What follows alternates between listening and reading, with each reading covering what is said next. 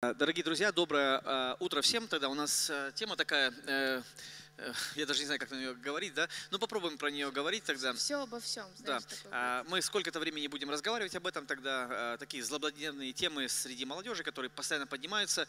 А, Мы об этом поговорим, и потом с удовольствием ответим на какие-то вопросы, если у кого-то они будут, и прям вот можем такой хороший диалог устроить.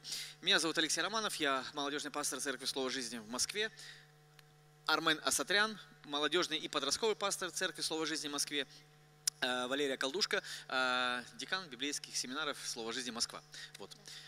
Давайте мы похлопаем тогда вот им, да, а, Господу и им тогда, и начнем тогда. Лера, тебе А, слово. Э, Спасибо. Мы, я постаралась подсобирать наиболее такие вопросы, наверное, которые никогда не утихают там ни в домашних группах, ни в общении в каком-то там просто а, свободном, и каждый год так или иначе они поднимаются. Эти вопросы задает, наверное, почти каждый новообращенный, который приходит в нашу церковь. Вы, наверное, задавались этими вопросами, и мы сегодня решили вот еще раз их поднять, а, чтобы как может быть, какие-то новые мысли, да, у нас появились. И первое, почему мы пройдемся, это алкоголь, да, и как здесь классно написано, а уже, может, можно по бокальчику вина. Вот, и, соответственно, первый вопрос, честно, что Библия говорит об алкоголе? Э, Чтобы вот как бы задать сразу тон э, того, о чем мы говорим, да, или как, вот, чтобы понимали, что не просто мы собрались все, которые против, э, и такие мы сейчас будем типа спорить друг с другом. Не то, чтобы у нас есть разное мнение касательно употребления алкоголя, но к термино- к терминологии есть вопросы. Лера, например, часто топит о том, что христиане называют пить алкоголь – это грех.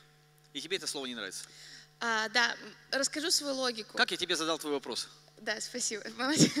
Вот, это мастер-класс еще по такой беседе. Расскажу свою а, логику. Мы с вами протестанты, и я согласна с тем, что, ну, наверное, 99% протестантов не употребляют алкоголь. Ну, может быть, ладно, 80%. Но а, в нашей церкви, как минимум, есть а, одно из ДНК, это что мы дружелюбны, да, и у нас есть единство отношения с другими конфессиями. То есть есть православные католики, Это ценность наша. ценность, да, спасибо, а, которые мы также считаем их христианами. И вот здесь мы можем сказать, что у католиков и православных 80% употребляют алкоголь. И, Пьющих, соответственно, пьющих. да, спасибо, пьющих. И, соответственно, когда мы говорим, что алкоголь это грех, это значит, что примерно 80% там православных и католиков мы, образно говоря, отправляем в ад. Нет, для мы, меня мы не это- в ад да. отправляем, мы говорим, Так. просто согрешили на Ну, это. согрешили, да. Но я имею в виду, что они же даже не, не думают в этом согрешил, Не каяться. сразу же в ад попал, Лер. Не сразу в ад, но если за нераскаянный грех, Ну, короче, Вот, э, и для меня это нарушение некой логики, да, поэтому. За что напрягается Лера? Да. О том, что мы, как христиане, часто, когда молодежь приходит к нам и говорят, алкоголь это грех или нет, мы говорим грех, и как бы все. А думающая молодежь начинает спрашивать, а почему же это грех? И мы говорим, не спорь, грех. Да. Все. Да, но хотелось бы немного больше. Ну да, вот апостол Павел рассуждений. говорил, что женщинам как бы непозволительно, вот, да, вот, вот они все-таки задают вопросы, да, вот, э, и вот Лера из тех девушек, которая задает вопросы часто нам, и нас приводит самих в ступор, и как бы разобраться в этих вещах. Армен, вообще, к тебе вопрос, алкоголь это грех или нет? Я, я думаю, Говори, что... как ты думаешь, а не как тебя Лера научила уже. Ну, я не называю грехом, я очень против категорически. Вот. Вот, Поэтому, почему против? э, ну, здесь много моментов. э, ну, самое, наверное, распространенное, что молодежь, я скажу про молодежь, я не буду говорить про людей в мире, я скажу про людей, с которыми я сталкиваюсь. Молодежь, которая пьет, или, ла- ладно, выпивает, чаще всего они доходят до абсурдных вещей, делают то, что не нужно было делать, а потом жалеют за это. Поэтому лучше не пить, в общем, чем-то пить. Вот как. Да. А, лично твои причины, почему ты не употребляешь алкоголь? Э, Ну, я могу, наверное, уже из-за того, что тема давно, давно избитая, да, и много разных кейсов есть на эту тему. А, Первое, ну, мой отец умер от алкоголя. Алкоголиком умер, э, бросил нас, когда мне было 9 месяцев. А, Почему? Потому что вот просто так себя вел. И потом как бы до этого довел. Потом у меня был второй отец, отчим, умер тоже от алкоголя. То есть в моей семье два мужчины, которые были, они оба умерли от алкоголя. А, Это первое. Второе, я э, за опыт служения в своей жизни, и это как бы не Библия, Лера тоже нас просит разделять опыт от Библии, да, вот это все. Мы часто это все смешиваем. У нас даже преподаватель, у меня преподаватель по систематическому богословию говорил, не надо сбрасывать все в одну корзину. Ну, это ключевая фраза, которую я запомнил из систематического богословия. А, и, но я не встречал еще людей, вот я прям даже, правда говорю, не встречал, людей, которые употребляли бы алкоголь, они остановились бы на какой-то определенной а, дозе алкоголя, которую они употребляли, и вот больше не развивались. То есть обычно они начинают это вот, ну как бы ты с чего-то начинаешь, куда-то идешь. А второе, я встречал не встречал людей, которые приходили бы и говорили, что мы употребляем, и у нас все классно, семья, и брак, и все, все здорово развивается. А я встречаю людей, которые говорят, вот мой муж начал выпивать, и потом вот это все произошло. Или сейчас случай происходит, когда девушка или женщина начинает выпивать, и потом все это расходится. Вот. А, ну, опять же, сама по себе статистика, которая говорит о том, что люди делают в состоянии алкогольного опьянения, она, конечно, ужасная. Да? А, и вот это все как бы э, в совокупности, ну, еще можно там много всего под, добавлять, говорит мне о том, что я не хочу употреблять алкоголь. Более того, я видел среди христиан, употребляющих алкоголь. Расскажу вот такую простую историю.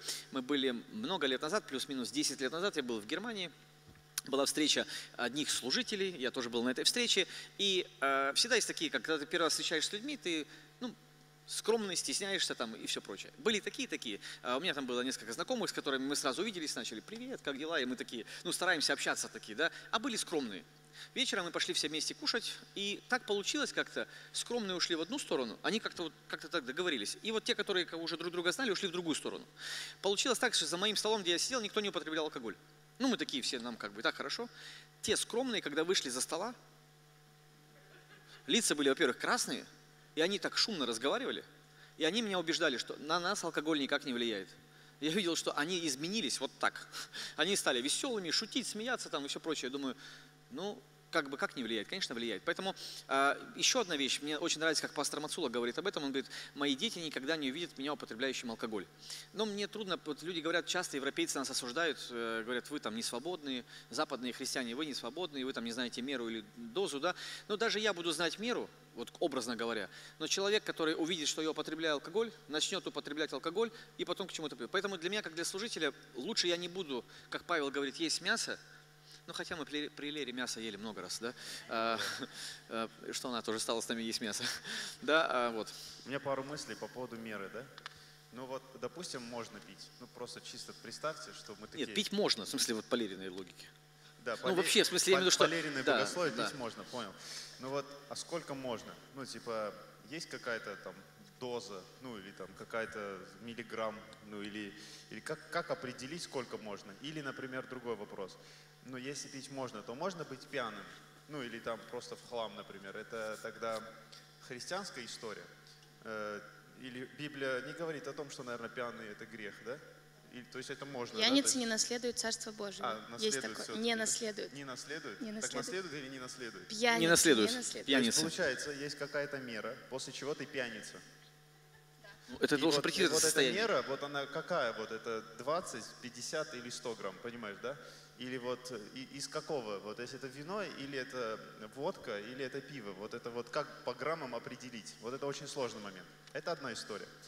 Вторая история, вот, Лер, к себе вопрос э, такой. Вот, например, ветхозаветные священники, э, ну, им запрещено было употреблять э, вино. Ну, те, которые служили при храме и все такое, потому что они были, ну, они были служители Божии. Ну, то есть и им запрещалось употреблять вино.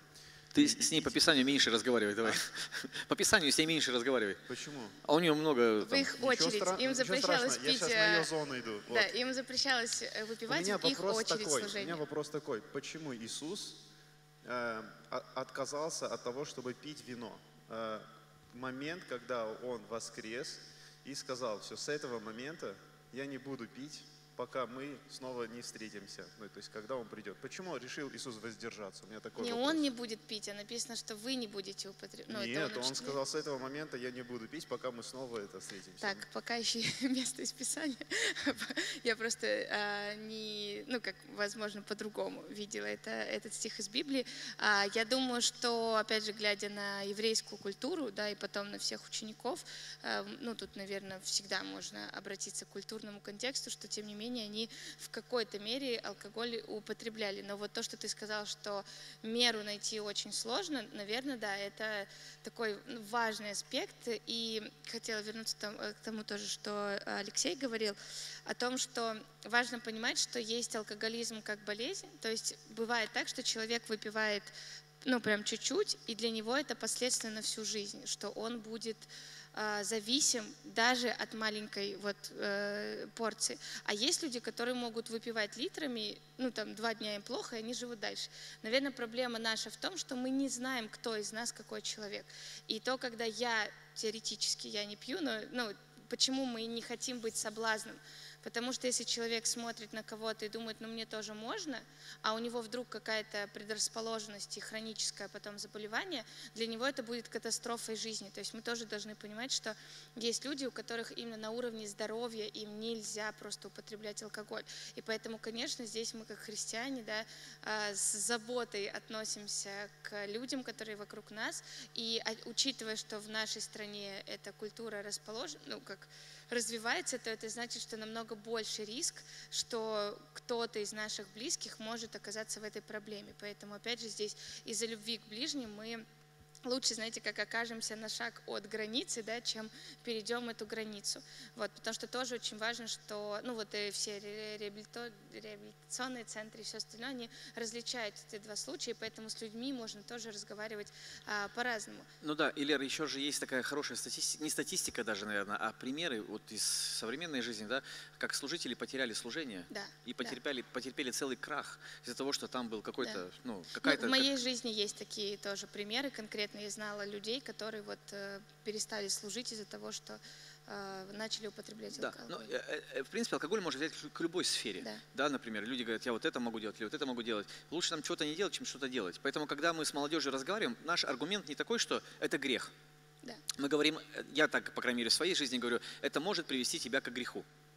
То есть а я не хочу целенаправленно делать что-то, что может привести меня к греху. То есть играть с этими вот границами, о которых Лера говорит, лучше не стоит. Почему? Потому что много людей, которые играли там, они оказались ну, в плохой истории. Поэтому лучше быть чуть дальше, да, а, для того, чтобы не сделать какие-то вещи. Но и опять же, вот эти христиане, которые разбираются в промилях, да, да, я думаю, зачем нам эта информация?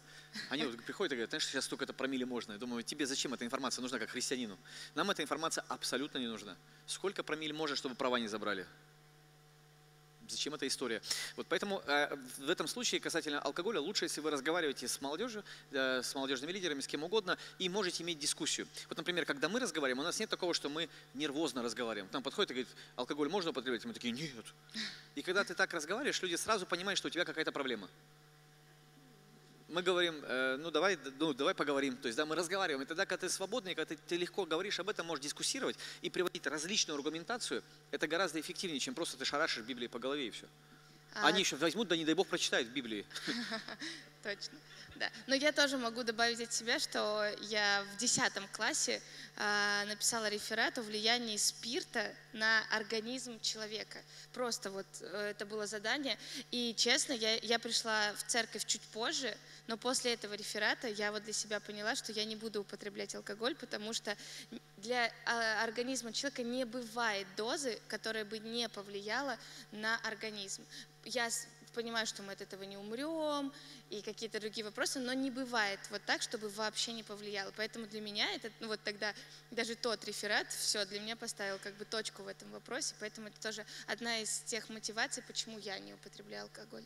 Ну, а Лера, она по образованию а? Химик. Да, химик-фармацевт, я да, химик-технолог, поэтому тут мне ближе это. Но тогда у меня следующий к вам вопрос. Вот мы говорим так про, про алкоголь.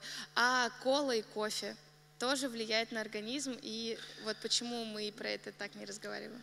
Ну, я не встречал людей, которые бы в состоянии выпил чашку кофе и пошел э, жену избил. Ну или колу выпил. То есть, я, ну, я как бы, это же как бы... Ну, тут, смотря как жена кофе сделала. Ну, это Карену с Лизой уже вопрос. Карену с Лизой, да, вопрос уже больше. Но я к тому, что да, есть вещи, и об этом тоже часто спорят люди, говорят, вот вы против алкоголя, потому что он разрушает здоровье, там все прочее, а вот э, как вкусная точка, да, а, как KFC и что-нибудь такое, это плохо. Ну, в смысле, я не встречал, пока, по крайней мере, людей, ну, подростки, может быть, они говорят, «Мак- Макдональдс это классно, да? А, но, в принципе, ты понимаешь, что это плохо, а, и стараешься этого меньше делать в своей жизни. Но, опять же, есть вещества, которые тебя приводят в состояние аффекта, а я, ну, я тоже не встречал человека после Tasty, такой пошел и сейчас, ну, сейчас убью кого-нибудь пойду. ну, я видел человека, который не понравился, и он с, с этим, с человеком, который готовил, спорил, скандалил. Ну, это такие Еще я встречал человека, который покушал, а потом добрее становился. Это тоже такое, да. Даже маг. Да, хорошо, тогда мы перейдем к следующей теме. А все, А, нет, давай, давай, давай, Ну, давай. давай твое заключение, нет, твое заключение, давай. Да нет, ничего, я ем все. Главное, чтобы пожаренное было, вот, Хорошо, да? свинина, там, шашлык, Да. все. Вот. А, хорошо, тогда идем Всё, дальше, всё, да? А, тату. Следующая тема, которая Группа такая музыкальная. у нас постоянно, каждый год на каждой домашней группе обсуждается этот вопрос. Вот я из-за того, что служу в этом служении, могу точно об этом сказать. А, Итак, для начала первый простой вопрос. А, Почему в нашей церкви мы просим Нет, татуировки это грех или нет? А, ладно, Первый да, вопрос. татуировки Мы должны грех. так с таким вопросом Вот так подходить вот, всегда. татуировки грех или не грех? Давайте с этого Ну начнем. давай, пускай будет грех. Такие, мы тут решили, что будет грех. Ну давайте первый. Ну, грех, давай, я, наверное, грех. я разговаривал несколько недель назад, я был э, на встрече молодежных лидеров со всего мира, молодежных пасторов. И так, ну, мы там на третий день сидели, смеялись, разговаривали уже, так, атмосфера хорошая такая. И, э, и мы что-то заговорили про татуировки. Я показал им свою руку, у меня здесь несколько шрамов есть, и сказал, у меня здесь были раньше татуировки. Э, Потом их, ну, не было там пластической хирургии, поэтому я пришел в поликлинику э, на Воровского в Челябинске. Мне просто это ножом срезали, отсюда кожу взяли и сюда пришили. И три месяца она приживала. Она то так отпадет, то не отпадет, короче. Я вот это все им рассказываю, они смотрят, я смотрю, там уже кого-то тошнит, кому-то плохо. Э, Ну вот реальная история. И я говорю, ну зачем я это сделал вообще в своей жизни? Потому что когда я это решил убрать, потому что я хотел, чтобы, ну какая-то началась новая жизнь для меня. Потому что мне трудно было, я приходил куда-нибудь, я говорил, я из церкви, а у самого здесь безотцовщина, здесь скрипичный ключ, а есть скорпион какой-то черный, набитый. Да, а, и люди смотрели, точно из церкви? Не из тюрьмы, из церкви, да, то есть ну, вот вся эта история. Да, а, и, ну, это как бы моя история, да, вот такая шуточная. Но на самом деле, а, изучая вот эту историю с татуировками и молодежи, одна из причин, почему молодежь хочет сделать татуировки, это выделиться. Самовыражение, э, где-то это оранжевые волосы, где-то тату- татуировка, где-то взбунтоваться, где-то показать, что я вот решаю, что я главный, что я там то-то, то другое, пятое, десятое. И вот это является проблемой, когда ты хочешь сделать что-то, что сделать нельзя. Ну, например, в обществе. Да, я нахожусь, э, захожу в лифт, там три человека, и я хочу прыгать в этом лифте. Ну, я понимаю, что это нельзя, да, но я начинаю прыгать, а я, мне все равно, да. Я не прав. Не потому, что прыгать нельзя. Прыгать грех или не грех? Не грех. Но вот в том атмосфере прыгать не надо. Да? Ну, например, в Сингапуре нахожусь, а жвачку на пол бросать нельзя. Я ее не буду бросать там, потому что ну, нельзя это делать. Да? А вот здесь, наверное, это больше для меня, по крайней мере, культурный вопрос, чем... э, ну, я не очень-то люблю, когда люди начинают там ради умершего на теле разбирать вот эту всю историю, там одно местописание с татуировкой связанное, его начинают сильно размазывать, э, вот разглагольствовать по нему. Поэтому для меня это больше культурный вопрос и вопрос, э, штаны не нравятся, я их через неделю поменял подарил их Лере, Армену, кому угодно, да, э, купил себе другие и все. С татуировкой не так, да. А, Последнее скажу, да не буду занимать много времени. У меня э, дочь спросила, папа, можно волосы покрасить? Я говорю, я красил. Да, э, другая подошла и говорит, я не хочу зубы чистить. У меня тогда не было двух передних зубов, я подхожу к ней и говорю, я тоже не чистил в детстве. Ну, как бы все стало понятно. С татуировками такая же история. Ну, то есть у меня вот прям больная моя история. Ну, Да. Армен, если к тебе подходит э, подросток или молодежь и говорит, хочу сделать татушку, что ты отвечаешь? Ну, во-первых, я спрашиваю, почему ты хочешь это делать. Вот. И очень важно, чтобы понять, э, докопаться до сути. Иногда э, желания, они мотивированы какими-то вещами, ну, где-то подсознание, да, где человек сам не понимает, почему он хочет. Просто желание пришло и все. Но желание сам по себе не приходит. Ну, то есть вот что-то видишь, что-то смотришь, где-то, ну, как хочешь так же, да, то есть ты начинаешь подражать. И особенно, если мы говорим про подростков и, и молодежь, они, они все равно смотрят за тенденцией, за трендами, они хотят быть современными. И многие вещи можно прослеживать. Э, Например, э, как э, недавно, да, вот он, может быть, год назад, когда Моргенштерн, он, например, начал красить ногти, и я заметил, что много мальчиков такие, можно я покрашу ногти черного цвета? Я говорю, а зачем тебе это надо? Ну, то есть У парней ногти черные могут быть только в том случае, если там, например, там молотком ударил, да? Вот, э, и черный как бы. А вот У меня на ногах черные ногти. Вот. И тогда я говорю, а почему ты хочешь? Потому что я понимаю, что он хочет, потому что он что-то посмотрел, хочет кого-то подражать и так далее. И тогда я стараюсь докопаться до сути. Ну давай посмотрим. А ты видел где-то у кого-то? Он говорит, ну да, видел. А где ты видел? Вот у этого человека. А вот кто этот человек? Да? То есть и начинаем мы как бы разговаривать и доходим до того, что он реально начинает понимать сам, почему он хочет этого. И тогда мы начинаем с этими вещами разобраться. То есть хорошо, если мы говорим про внутренние мысли, чувства, ну какие-то вещи, почему человек хочет. И когда он понимает, что на самом деле это его желание только потому, что он хочет из-за этого, да, тогда суть уже меняется. Не потому что я хочу, а потому что на самом деле общество на меня сильно влияет. Мои друзья меня на школе, ну, тоже влияют, они все, я как-то отличаюсь от всех, и мне хочется. И тогда мы начинаем говорить о внутренних каких-то проблемах и помогать ему пройти это. Поэтому вопрос, ну, не всегда, мы не говорим так, что это грех, мы против там и так далее, хотя у нас есть этика нашего, нашей церкви, что мы говорим, что если ты хочешь служить, то мы так не делаем, мы, нашей церкви так принято, вот, и тогда понимает, что окей, это не приветствуется, да, и тогда человек, он принимает, я хочу служить вообще в будущем, я вообще планирую здесь что-то делать, если да, то лучше тогда не надо, сейчас точно не надо, а если нет, то все равно помогаем как бы разобраться с такими своими внутренними проблемами. Ну и здорово, наверное, помню еще, когда я вот сама была в молодежке, что а, приди через год, если ты еще хочешь сделать, поговорим второй раз. И 99, да, там и 9 процентов не доходят через год с таким же Ну, вопросом. еще же есть целая история, например, когда ты разговариваешь, я говорю, я в принципе-то не против э, каких-то вещей. Ну, я в смысле, ну, я как человек, да, например. Давайте возьмем христиан э, в гонение. Первые эти 250 лет римских гонений, они себе били эту рыбку, чтобы когда их хоронили, понимали, что они христиане. И хранили их не по другим традициям языческим, да, а по христианским традициям. Или крестик они себе где-то набивали, там, или еще какие-то вещи. Но это для того, чтобы понимать, что для них тогда набить крестик – это все. Это выйти, грубо говоря, на площадь и сказать, что я христианин в исламской стране.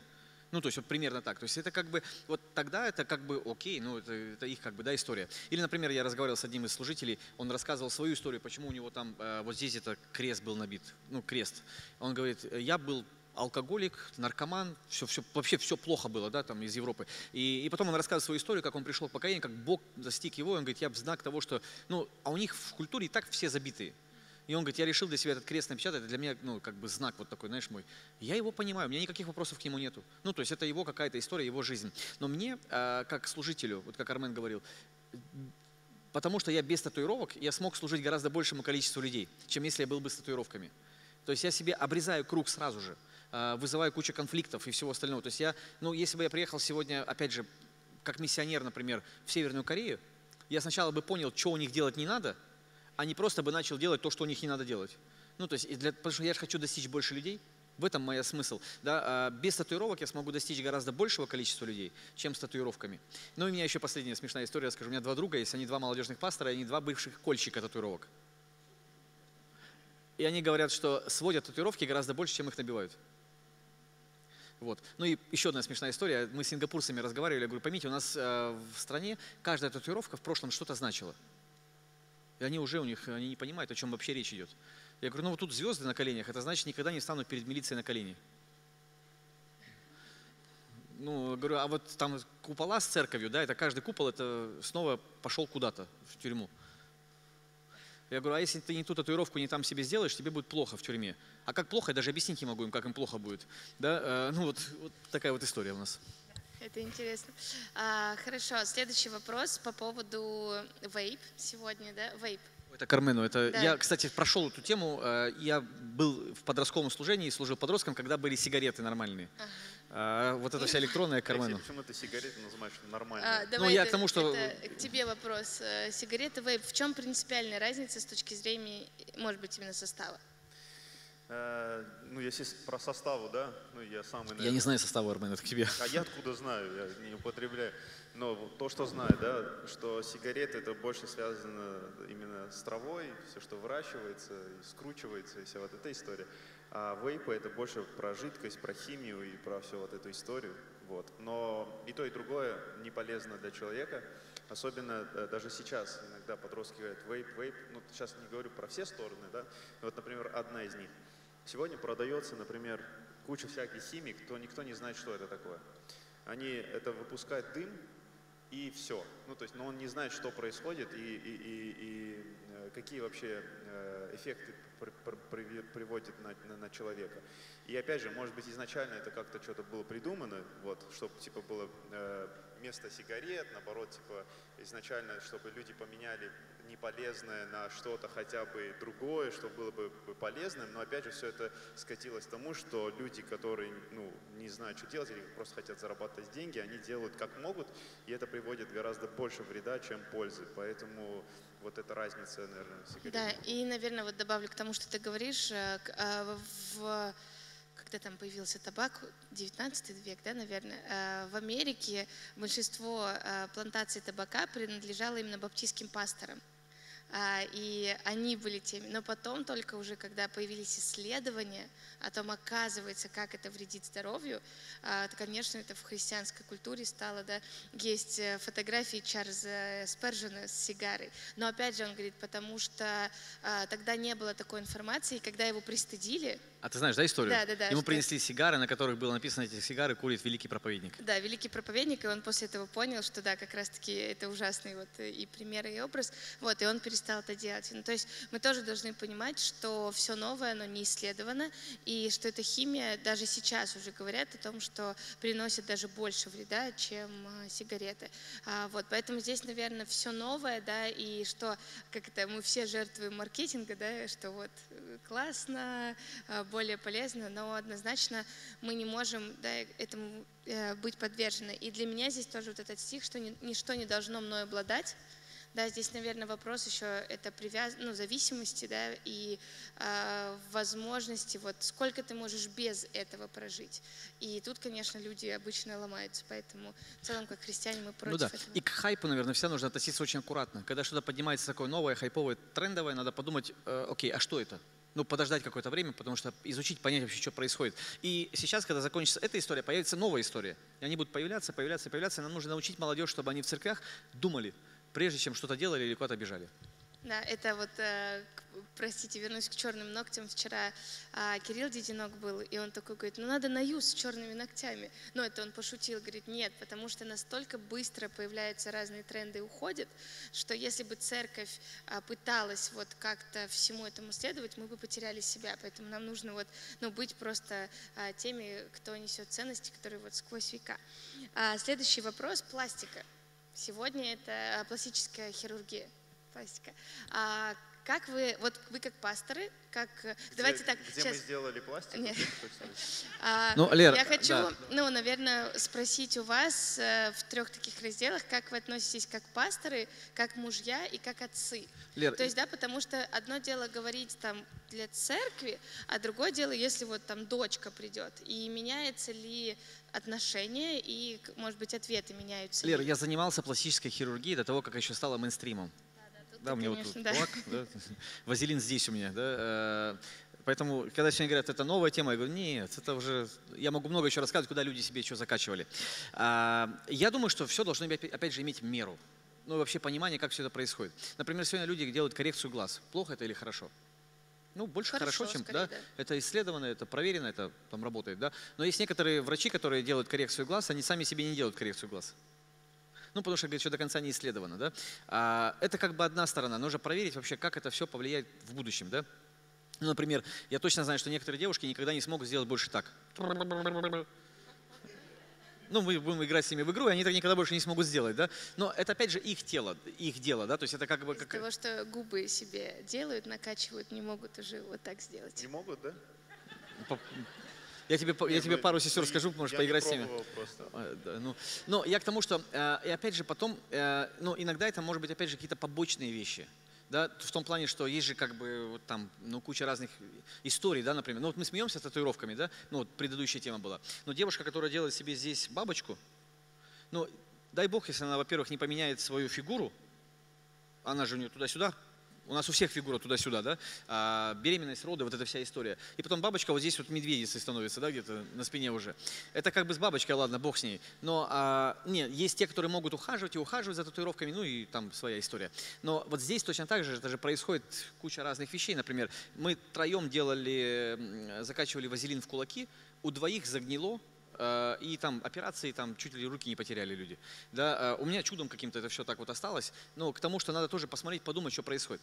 Э, Во-вторых, можно сильно увлечься этим всем историей, потому что всегда ты, когда ты начинаешь себя переделывать или доделать, тут уже, знаешь, как, как у меня есть друг, э, у нас есть общий друг, пастор Борис Готовцев, он любит с машинами все делать. Он никак не остановится. Он уже там что только с этой машины не сделал. Все, что он вложил в машину, уже стоит дороже машины. Ну вот, вот реально, думаю, Борис, уже остановись, уже все, хватит уже, да? Ну, то есть вот здесь точно тоже можно уйти в какую-то другую историю. Но есть одна такая аргументация, когда люди пытаются себе там что-то переделать в организме, они говорят как будто бы Богу, что ты мне не таким сделал. Вот такая, да, какая-то история. Поэтому я думаю, что должна быть какая-то мера в согласии с мужем, женой, да, а, потому что это вот, ну, какая-то семейная история. Я не думаю, что церковь должна выступать против, э, что, пластическая хирургия, это плохо. Я думаю, не думаю так, да. У меня есть друг, у него, э, он покупал обувь себе, и через несколько месяцев обувь разлеталась. Ну, там с ногами что-то у него было. А у него как-то так мизинцы неправильно росли. Пошел в больницу и отрезали ему два мизинца, и теперь обувь не разлетается. Ну, это Челябинск, да. То есть он вопрос решил, да? Ну, зато обувь не разлетается больше, все Лиш- нормально. Лишние пальцы были просто. Да, просто он их отрезал и все. Да, поэтому я не думаю, что церковь должна выступать против этого всего, но должна быть мера. Но я тоже проповедовал недавно, знаешь, интересную мысль, что а, я не встречал еще вот сильно переделанных людей и очень добрых. Обычно они какие-то злые, раздраженные, все такое. Думаю, ну вы же как бы, ну, люди сильно увлекаются другим, внешним, когда лучше бы вложить эти все э, средства, может быть, в доброту в своей жизни. Кстати, Ну, еще этот, э, вспомнил историю про татуировку, э, бабочку. Говорит, это, что такое грустный? Говорит, я это на спину Ленина набил. Говорит, а что грустный? Говорит, говорит, чем больше я старею, тем он больше улыбается. Э, Этот, и, и про это, э, про лишнее, вот. Э, Что, например, много людей говорят, что зубы мудрости надо удалять сразу. Даже Господь сотворил, не? Ну, Я типа, не знаю, мне с зубами дол- долгая история. Ну, Мы типа, про зубы не поговорим, наверное. Не, ну просто это тоже странно. Ну, типа, если Господь дал, то зачем удалять? И здесь Здесь- опять начинается медицина, Да. польза, не польза и все такое. Но я думаю, что Господь вряд ли не- неполезные вещи в организм человека воткнул. Здесь есть здравая, э, здравая теория эволюции и теория того, что просто нам теперь они не нужны. Мы едим другой тип Так пищи. они мне нужны же. Не, а раз смотри, я тебе объясню, да? А раньше Ну, нужны были. Леру мы этот вопрос не будем задавать, да? Но э, парни себе бреют подмышки. Ну, Господь же создал волосы там. Да. Так, все, все, все. Ну, я к тому, что то есть есть вещи, которые... Хорошая тема, давай развивай. Тут у нас Ну, или это- ногти, зачем мы их стрижем? А сейчас со Ногти зачем стрижем? есть бодипозитив, поэтому сейчас тема тоже Да, ну я к тому, что то есть есть, наверное, вещи, которые, ну, то есть человек хочет маленько по-другому выглядеть. Я не думаю, что там Господь покарает, там, накажет, там, вот это я так не думаю. Ну, я думаю, главное не увлечься во всю эту историю. Но с другой стороны, в Библии написано, что не надо это краситься и все вот эта история. Да, сережки не надо девать, конечно, все это. Ну, мы не Господь одеваем. не создал. Мы не одеваем с Шутка. Арменом. Это шутка, да. А вопрос... да, Что шутка-то? это- Написано же в Библии. Это просто, да, точно. А, ну, наверное, это просто, да, к тому, что а, мы понимаем, что Бог дает нам свободу выбора, да, что это все-таки наша жизнь. Но, да, наверное, если человек все время себя меняет или что-то хочет изменить, то это вопрос, а доволен ли он вообще, может быть, он чувствует какую-то недостаточность. Если к тебе придет э, там ну, не Патрик, ну, Патрик придет. хотел сказать, э, будущая дочка, ну, образно говоря. Ну, то Допустим, есть ребенок, не знаю, Патрик, да, или вот к тебе придут девочки и скажут, вот хочу что-то изменить. Может быть, как бы вы вообще себя Ну, чувствовали? я точно сяду буду вы разговаривать. А, разговаривать не так, что нельзя. Ну, то есть вот этого не будет у нас, да? То есть мы сядем, поговорим, а, а вообще, а может быть, не в этом проблема. Потому что сегодня, например, когда человек хочет что-то себе исправить, ну, внешне, а может быть, на другой акцент сделать. Ну, то есть не обязательно, может быть, э, я не знаю как, у меня вообще есть другой друг, У тебя что-то много друзей. слава богу. Говорят, в жизни не У, бывает же много э, у- у жены были ноги немножечко иксом.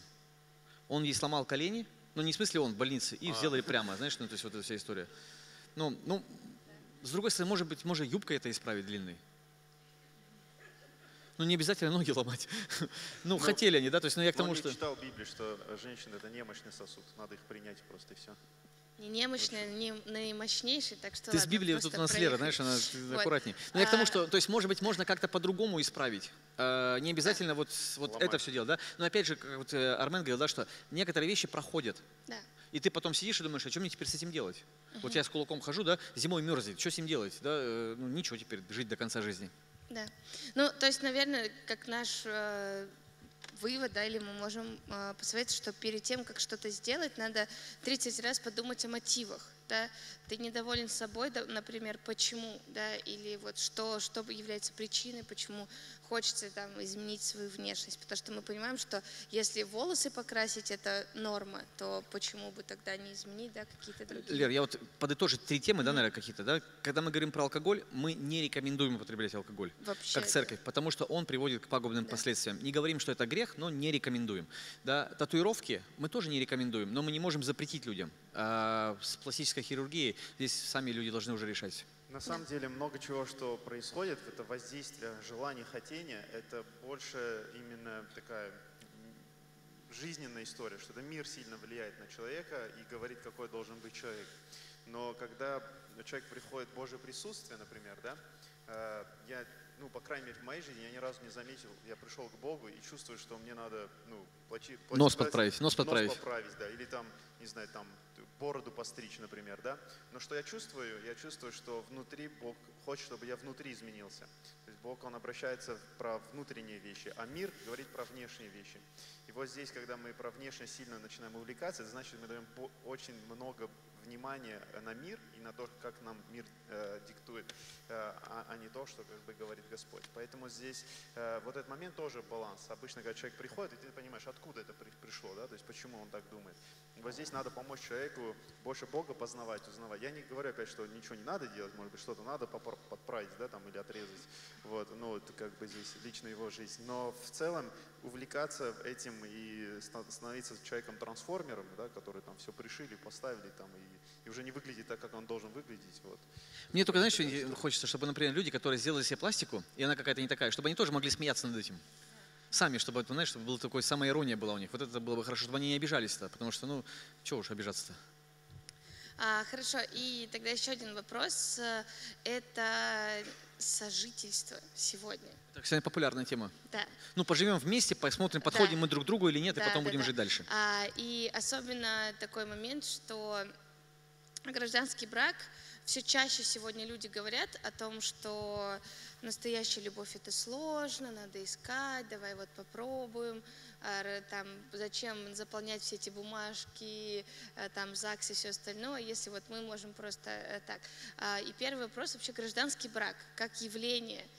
Да, что это было, как это было, вот, э, наверное, тут э, Ну, в Библии где есть гражданский брак? В Библии. Ха-ха.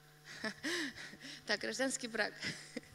Что, что это такое? Ну, вообще, да, вот как явление, да, потому что, ну, в Библии мы понимаем, что а, люди, Да, вообще не было института, вот, Смотри, я думаю, что Завете сейчас, э, ну, там, я не знаю, там, взять 20-30 лет назад э, наше общество, западное, европейское, там, а, вот маятник был в сторону вообще брак только вот, ну, я, например, удивляюсь, да, люди женились, не зная друг друга, и жили всю жизнь вместе. Ну, то есть вот их они познакомились на свадьбе, поженились и жили всю жизнь вместе, а сегодня есть люди, которые встречаются несколько лет, женятся и разводятся. Я думаю, как те прожили, не зная друг друга, как бы, да, то есть они нашли где-то, ну, возьмем, например, там, э, Восток или Кавказ, да, то есть люди, ну, то есть у них нет вот этого всего, что есть, э, поэтому я думаю, что маятник оттуда пошел сегодня в эту сторону и доходит до абсурда. Например, в западном обществе сегодня они говорят так, не надо давать друг другу обещания на всю жизнь, давай поживем, посмотрим, как будет, и потом будет все это дело. Да? Бумажки это лишь формальность. То есть я думаю, что вот эти все вещи, которые атакуют э, общепринятый брак, по крайней мере в нашей стране, это вот э, разные вот эти вот э, как ну, пунктики, да, которые эти говорят, давай поживем вместе, попробуем, другие говорят, бумажки неважно, третьи говорят, ну давай вот э, ну, не знаю, там, съедемся через какое-то время, да, там, ну, вот, вот все эти моменты, я думаю, что это как раз, вот маятник уходит в другую сторону, и когда он дойдет до самого безумия, он опять пойдет в ту сторону. А, Хорошо. Э, В принципе, гражданский брак, э, наверное, тоже, как и мы сегодня утром обсуждали о том, что исторически оказывается, что это был момент, что а, именно такой брак назывался а, когда именно священник не благословлял. То есть это люди, которые перед государством а, регистрировали свой брак, но именно священник их не благословлял. И насколько, то есть да- тогда даже такое порицалось. Да? Сегодня мы вообще говорим о том, что хоть как-то да, узаконьте да, свои взаимоотношения. Не, я, я согласен. Я, этот, а, я просто, знаете, что думаю? Я когда, опять же, разговариваю да, с людьми, например, а, мне, вообще нравится диалог, мне нравится дискуссия. Иногда вот, ну, и Армен, и Лера знают, мы попадаем в такие дискуссии. В нашей церкви много молодежи, которые атакуют тебя различными, у них аргументация сильная, там, ну, вот, все эти моменты. Мне иногда ты чувствуешь себя незащищенным, и Господь какие-то вот всякие штуки дает, да, а, как отвечать. Я, например, разговариваю с некоторыми людьми, говорю девушкам, ну вот вы поживете с парнем, он вам, вас убеждает, что вот мы сейчас поживем, посмотрим, все прочее. И, например, девушка решилась на гражданский брак в 25 лет. Они пожили с парнем 5 лет, 3 э, года пожили вместе, и потом они понимают, он понимает, чаще всего он понимает, что они не, ну, любовь прошла, там, не мы друг для друга, там вся вот эта история, и он куда-то уходит. И знаете, что интересно? Он находит себе девушку на 10 лет моложе, а она в 28, в 30 лет сидит у разбитого корыта. Вот пастор Сергей Непомнящий говорил про это синее-синее море, да, там. А, и она около разбитого корыта, и все. И что ей делать дальше? То есть девушка, попадая в гражданский брак, она себя сразу бросает под танки, что, скорее всего, она останется ни с чем и никак. Ну, э, редко гражданский брак заканчивается браком, во-первых. Ну, это мы вообще про мир говорим. А в христианстве это называется грех и блуд. Да, то есть ты попадаешь вообще, в, ну, когда человек из церкви уходит в гражданский брак, он уже уходит вообще на другую территорию, и там он, ну, помимо всех вот этих вещей. Я более того скажу, меня сегодня больше беспокоит вопрос даже не гражданского брака, а как законный и христианский брак скрепить еще сильнее. Я сегодня вообще думаю про э, брачные контракты. И мне я задал вопрос недавно в одной социальной сети, и люди написали так. Ну, там было много разных комментариев, как обычно. Есть люди, которые всегда, они, неважно, о чем ты написал, они о чем-то другом все время говорят. И, да, и, э, и одна, одна девушка написала так, мне очень понравилось, она говорит, хорошо бы э, брак у алтаря скрепить документально. Я подумал, ну, в принципе, да. А, потому что вот потом, когда они расходятся, чаще всего страдает, ну, по крайней мере, в нашей стране страдает девушка с детьми. Женщина с детьми, она остается одна, и что ей делать дальше? А муж пошел куда-то там, э, ну, какими-то делами заниматься. Поэтому я думаю, больше как бы, как бы застраховать и ту, и другую сторону, что если вдруг им в голову что-то взбредет, чтобы они хоть как-то, ну, потом могли жить. Хотя это само по себе странно уже. Ну, да. ну если сделать пластическую операцию, в контракте написать, тогда, может, и парень не захочет, Два в одном. Ну, а, да, я думаю, что сегодня а, еще вопрос в том, что когда у нас есть некая статистика в стране о количестве разводов достаточно больших, то законный вопрос, ну, а зачем тогда скреплять себя вот этими обязательствами, если мы видим, что большинство людей их не выполняют? Тогда, может быть, действительно проще и не давать обещаний, которые ты, ну, или там большинство людей не в состоянии а, Ну, это опять же влияние мира сильное, да, да? то есть и на, на церковь когда мы говорим сегодня, влияет ли мир на церковь, сильно влияет. Да. Но то, что происходит в мире, эхом отображается на церкви. А, например, взять статистику разводов, 50 лет назад их в мире, в нашей стране было не такое количество, как сейчас. Угу. 50 лет назад в церкви вообще разводов не было. Когда растет развождаемость, ну, пускай когда растет развождаемость в мире, она так или иначе влияет и на, на церковь. церковь. И получается, вот этим как бы эхом отдает на церковь, и церковь все равно находится в этом влиянии. Я, например, я разговариваю, эм, нам не, ну, не очень-то хорошо, если у нас есть близкие друзья, те, которые развелись или хотят развестись и все прочее, они влияют на нас. Я часто молодым парам, которые поженились, я говорю, вам нужно общаться с людьми, которые имеют крепкие браки, потому что они смогут обогатить ваш брак когда молодые пары, которые поженились, общаются только с, с, а, с неженатыми, или еще, не дай бог, в их как бы, кругу общения есть люди, которые развелись или думают по-другому, это будет влиять на них брак. И когда у них придут проблемы, они придут вот к этим людям за советом. И эти люди какой им совет дадут? Конечно же, ерунду, да? А, а те люди, которые женаты на 3, 5, 10 лет старше, они скажут, а, Сколько вы женаты? Ко мне пара одна недавно пришла, у них были проблемы, они прошли их, слава Богу. Я спросил, сколько вы женаты? Они сказали, 9 лет. И я помню наш девятилетний кризис в семье. Я прям понимаю, что с ними произошло, и ты говоришь, надо просто пройти. А если бы они пришли к тем, которые развелись в 9 лет, они сказали бы, не, бесполезно, разводитесь. Ну, то есть вот поэтому хорошо себя скрепить тоже людьми, которые вот в этот момент, когда вот это все влияние идет, понимать, что за брак нужно сражаться, брак стоит чего-то, да, и там вот эти все вещи. А, брак, э, ну такой момент, э, да, когда мы говорим, а нет ли такого образа идеального брака, который э, люди к, чему-то... а, Нет ли подмены понятий, что, знаете, брак это такая, как это на розовых облачках, радуги и все остальное, и поэтому люди, попадая в это, разочаровываются. Ну, я проповедовал даже об этом однажды, э, когда э, люди видят фотографию э, в социальных сетях, например, семьи пастора Мацулы, э, там дети все стоят по уголкам, да, э, Мацула с Библией, да, там, Ранди. А, И они думают так, что пастор Мацул домой заходит, да, э, дети уже с Библией встречают его, Ранди на пианино госпел играет, они поклоняются все полчаса дома, потом молятся вместе. Мы спросили у пастора Мацулы, как часто он читает вместе, э, он и Ранди читают Библию. Он говорит, редко, мы по отдельности читаем. Я, мы, мы были женаты уже лет 15, наверное, с Катей. Мы такую свободу получили. Почему? Потому что у нас никогда не я, не, ну, я не могу с Катей читать Библию, потому что я буду перебивать ее, она меня, ну как мы, по ролям читать будем, ну это какая-то сложная история, да? Но есть браки, у которых это получается. Да и дай Бог, пускай получается. Но вот то, что ты говоришь, иногда мы рисуем себе идеальную картину, но нам также в церквях необходимо говорить о наших каких-то трудностях, поражениях где-то, да, где-то мы там не поняли друг друга. Открывать вот. Поэтому я часто вдохновляю служителей вести свои социальные сети и писать, что по-настоящему в их жизни происходит, а не только выкладывать счастливых, счастливые лица. У меня даже статистика есть такая. Чем люди больше улыбаются в социальных сетях, в браке, тем, скорее всего, у них больше проблем. Ну, чаще всего приходят к тебе те, которых, ну, вот у них сверху все хорошо. Поэтому лучше меньше там улыбаться, чем... А, По поводу чтения Библии у нас тоже, э, я вот, а, когда вышла замуж, мне там через неделю В смысле, написали, как-то вышло замуж. когда. А, ну, когда. в смысле, мне прям, о, ну вы же там это Библию вместе еще не начали читать, и такая, нет, а, и не начнете. Ну, то есть мы тоже моих большинство друзей сказали, что это, ну вот, наверное, опять же, какой-то образ, которому...